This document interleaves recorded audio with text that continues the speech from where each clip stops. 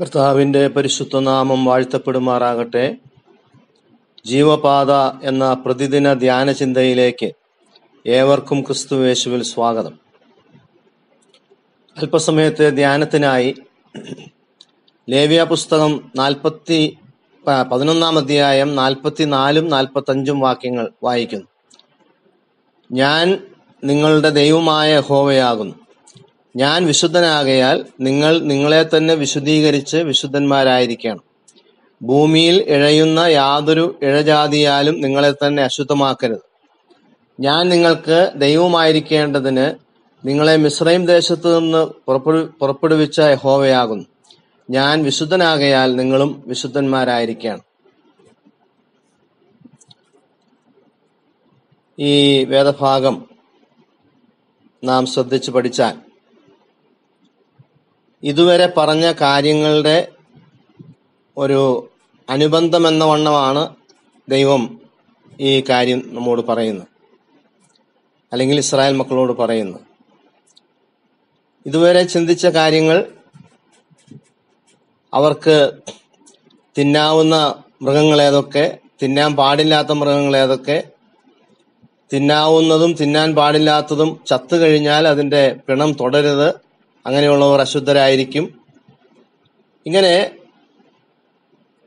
വിശുദ്ധിയുടെ പ്രമാണം വ്യക്തമായിട്ട് പറഞ്ഞു കഴിഞ്ഞാണ് ഇവിടെ ദൈവം മറ്റൊരു കാര്യം അവരോട് പറയുന്നത്. എന്താണത്? ഞാൻ നിങ്ങളുടെ ദൈവമായ ഹോവയാകുന്നു രണ്ട് പ്രാവശ്യം ആ കാര്യം ഇവിടെ പറയുന്നതായിട്ട് നമുക്ക് കാണുവാൻ കഴിയും. ഒന്ന് നാൽപ്പത്തി നാലാം വാക്യത്തിലും ഒന്ന് നാൽപ്പത്തി അഞ്ചാം വാക്യത്തിൽ.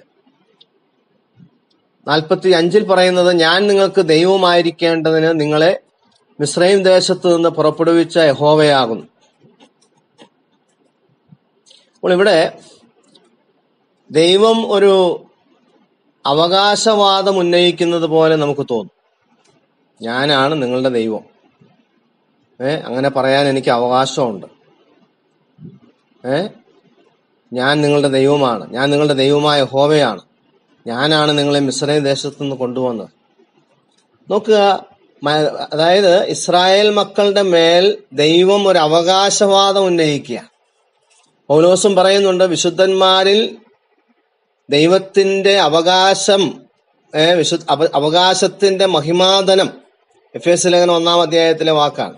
വിശുദ്ധന്മാരിൽ അവന്റെ അവകാശത്തിന്റെ മഹിമാതനം ഇന്നതെന്നും അറിയേണ്ടതിന് ഞാൻ പ്രാർത്ഥിക്കുന്നു. നോക്കുക. അപ്പോൾ നാം മക്കളാണ് മക്കളെങ്കിലോ നാം അവകാശികളാണ്. ക്രിസ്തുവേശുവിൽ കൂട്ടവകാശികളാണ്. ദൈവത്തിന്റെ അവകാശികളാണെന്നൊക്കെ പറയുന്ന അതേ വചനം ദൈവത്തിന് നമ്മിലും ഒരു അവകാശമുണ്ട് എന്ന് പറയുന്നു. ഏ? ദൈവത്തിന് നമ്മിലും ഉണ്ട് അവകാശം. അപ്പോൾ ഇവിടെ ദൈവം പറയുകയാണ് ഞാൻ നിങ്ങളുടെ ദൈവമാണ്.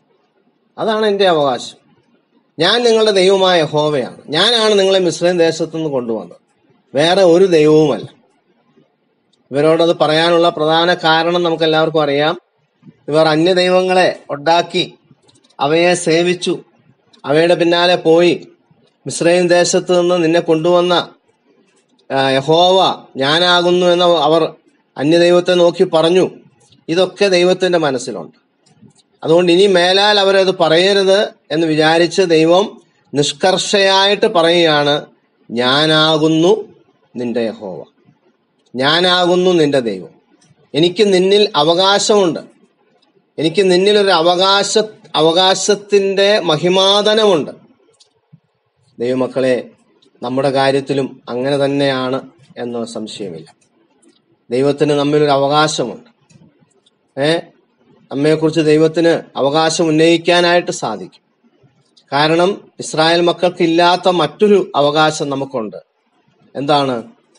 യേശുക്രിസ്തുവിന്റെ ചങ്കിലെ ചോരയാൽ വീണ്ടെടുപ്പ് പ്രാപിച്ച ദൈവമക്കളാണ് നമ്മൾ. അങ്ങനെയാണെങ്കിൽ കർത്താവിന് നമ്മിൽ അല്പം കൂടിയ അവകാശമുണ്ട് എന്ന് ഞാൻ പറയാനായിട്ട് ആഗ്രഹിക്കുക.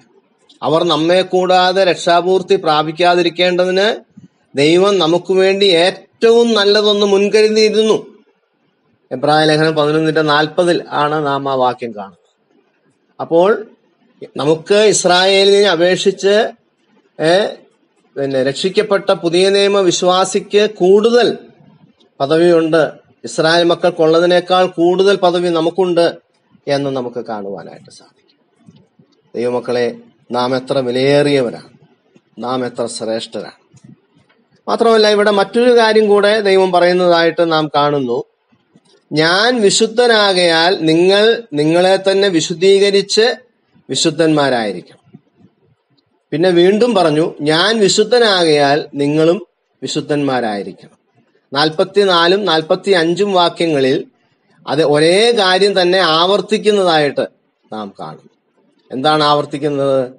ദൈവം വിശുദ്ധനാകയാൽ നമ്മളും വിശുദ്ധരായിരിക്കണം എന്ന് പറഞ്ഞാൽ ഇങ്ങനെ ചിന്തിച്ചാൽ മതി. നമ്മുടെ വിശുദ്ധിയുടെ മാനദണ്ഡം ആരാണ്? ദൈവമാണ്. സഭാമൂപ്പനല്ല. ആ ഞാൻ സഭാമൂപ്പൻ വിശുദ്ധനാണോ എന്ന് നോക്കട്ടെ. എന്നിട്ട് ഞാൻ വിശുദ്ധനാകാം. അല്ലെങ്കിൽ ഞങ്ങളുടെ സഭയിലെ സുവിശേഷകൻ വിശുദ്ധനാണോ എന്ന് നോക്കട്ടെ. എന്നിട്ട് ഞാൻ വിശുദ്ധനാകാം. ഉപദേഷ്ടാവ് വിശുദ്ധനാണെങ്കിൽ ഞാൻ വിശുദ്ധനാകാം. അങ്ങനെ നോക്കിയല്ല വിശുദ്ധനാകേണ്ടത്. അവർ വിശുദ്ധരല്ലെങ്കിൽ അവരോട് ദൈവം ചോദിച്ചോളും.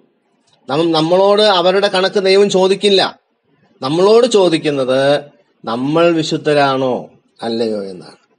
ഇവിടെ ദൈവം പറയുന്നത് ഞാൻ വിശുദ്ധനാണല്ലോ. ഏ? ഞാൻ വിശുദ്ധനല്ലേ?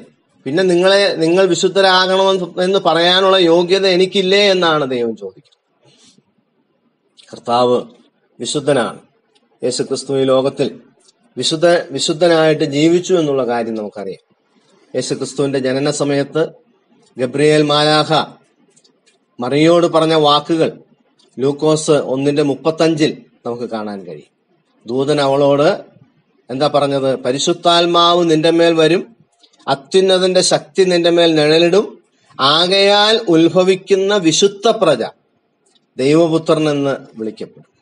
ആകയാൽ ഉത്ഭവിക്കുന്ന വിശുദ്ധ പ്രജ എന്ന് പറഞ്ഞാൽ എന്താ അർത്ഥം? യേശുക്രിസ്തുവിൽ ഉത്ഭവ പാപമില്ലായിരുന്നു എന്നാണ്. അതേസമയം ദാവീദ് പറയുന്ന വാക്കുകൾ ശ്രദ്ധിച്ച് ഏഹ് അൻപത്തൊന്നാം സങ്കീർത്തനത്തിന്റെ അഞ്ചാം വാക്യത്തിൽ ദാവീദ് എന്താ പറയുന്നത് ഇതാ ഞാൻ അകൃത്യത്തിൽ ഉരുവായി പാപത്തിൽ എന്റെ അമ്മ എന്നെ ഗർഭം ധരിച്ചു. നോക്കുക ഏ ദാവീദ് ഉത്ഭവ പാപമുള്ള ആളാണ് അല്ലെങ്കിൽ അമ്മയുടെ ഗർഭപാത്രത്തിൽ കിടക്കുമ്പോൾ തന്നെ ദാവീദ് പാപിയായിരുന്നു. ആ ദാവീദിനെ പോലെ തന്നെയാണ് നമ്മൾ ഓരോരുത്തരും. നമ്മളെല്ലാവരും ഉത്ഭവ പാപമുള്ളവരാണ് നമ്മളെല്ലാവരും അമ്മയുടെ ഗർഭത്തിൽ കിടക്കുമ്പോഴേ തന്നെ പാപിയാണ്. എന്നാൽ ഉത്ഭവ പാപമില്ലാത്ത ഒരേ ഒരാൾ യേശുക്രിസ്തു മാത്രമാണ്.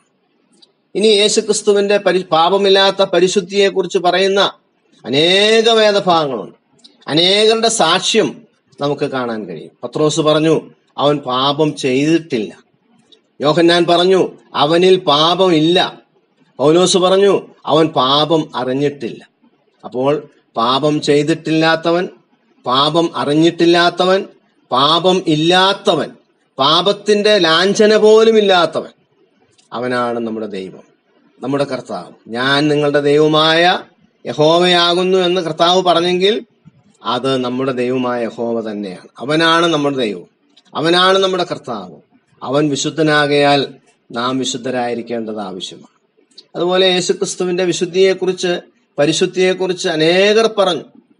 ഒരിക്കൽ അശുദ്ധാത്മാവ് ബാധിച്ച ഒരു മനുഷ്യന്റെ ആ അശുദ്ധാത്മാവ് വിട്ടുപോകാനായിട്ട് കർത്താവ് അവനെ സൗഖ്യമാക്കുന്ന സമയത്ത് അവൻ പറഞ്ഞ എന്താ നീ ദൈവത്തിന്റെ പരിശുദ്ധൻ തന്നെ എന്നാണ് പറഞ്ഞത്. ക്രൂശിൽ കിടന്ന കള്ളൻ പറഞ്ഞു ഇവനോ അരുതാത്തതൊന്നും ചെയ്തിട്ടില്ല.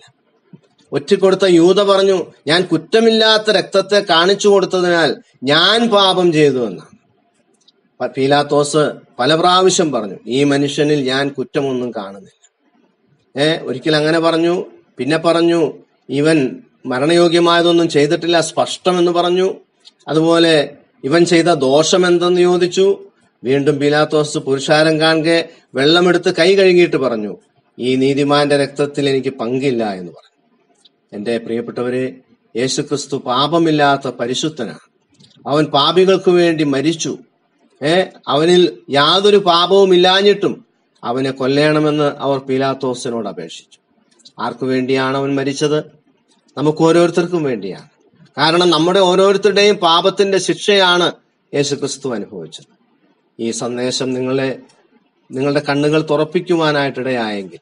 പാപമില്ലാത്ത ഏക പരിശുദ്ധൻ യേശുക്രിസ്തു മാത്രമാണ് ആ യേശുവിനെ നിങ്ങളുടെ ഹൃദയത്തിൽ രക്ഷിതാവും കർത്താവുമായി സ്വീകരിക്കുക. പാപ പാപത്തിന് മോചനം പ്രാപിച്ചാൽ നിങ്ങൾക്കും കർത്താവിനോടുകൂടെ സ്വർഗത്തിൽ വാഴാൻ കഴിയും. ദൈവം അതിന് നിങ്ങളെ സഹായിക്കട്ടെ.